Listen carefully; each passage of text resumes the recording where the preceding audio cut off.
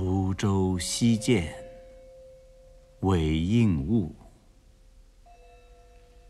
独怜幽草涧边生，上有黄鹂深树鸣。春潮带雨晚来急，野渡无人舟自横。这首诗写西涧雨景，野趣盎然。春暮的涧边，碧草萋萋，绿荫处处，与立春花时相比，别有一番清幽之美。这自生自荣的幽草，这惹人诗思的清景，深得独步涧边的诗人的爱怜。芳花自落。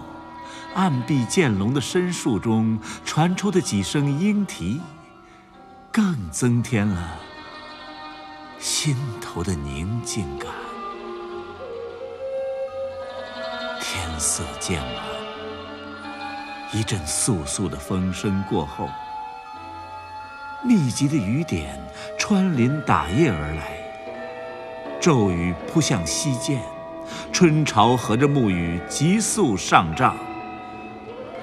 荒郊渡口，一只孤零零的小船，时横时直，悠然空泊，载着满川风雨，一任春潮汹涌。